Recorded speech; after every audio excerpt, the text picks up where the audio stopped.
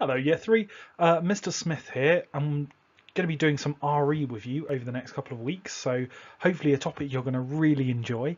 It's looking at um, Islamic art. So that is art from the religion of Islam. Um, I wonder if you know, if you can tell me, what the word that we call someone who follows Islam is. Yeah, it's a Muslim.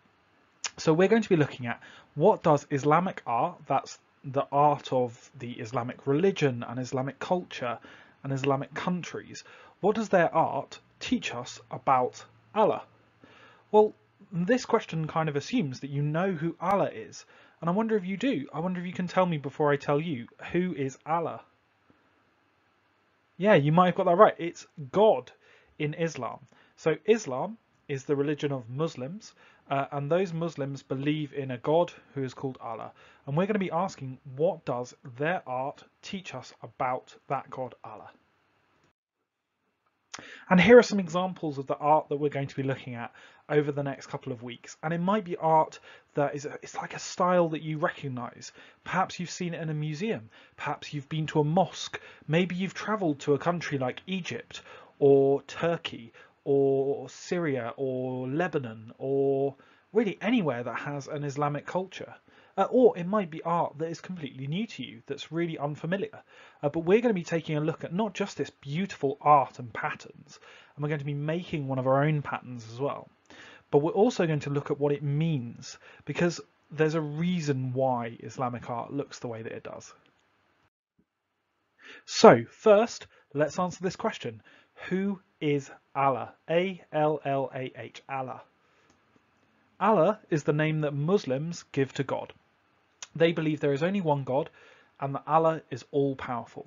So that means they're monotheistic. Mono means one, theistic is God. So they believe in one God.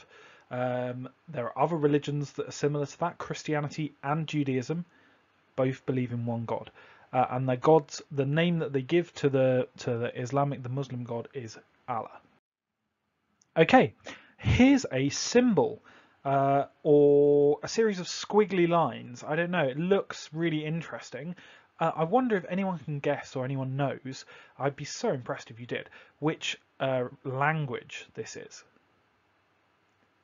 It's Arabic. So Arabic is the language that is often spoken by people who are Muslim. It's the language that they read their Quran, which is their holy book in.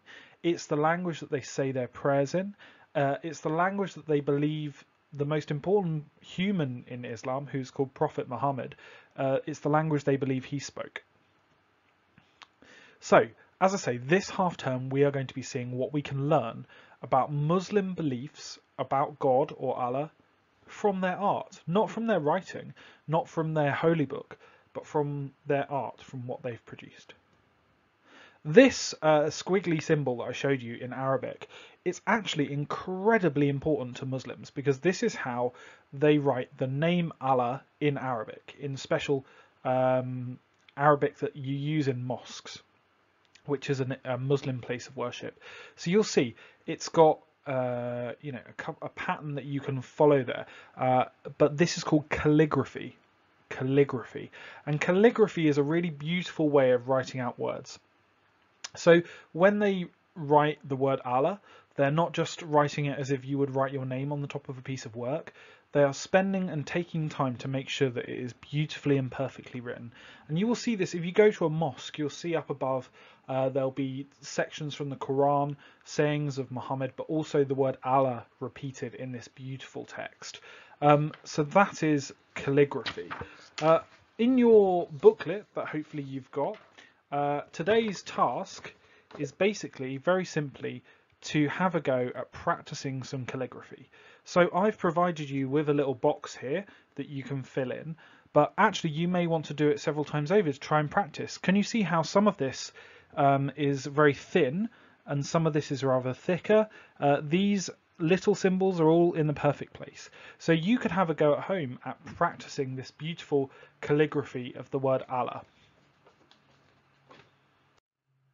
So here are some uh, more facts or some more information about Allah that's going to help us uh, to understand how Muslims see their God uh, and why perhaps we haven't just looked at a picture of Allah, why we are looking instead at drawing his name really carefully or their name really carefully instead of just finding a picture of God or like we would find a picture of anyone else.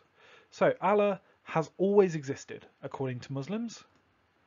Allah knows everything that can be known. Allah can do anything.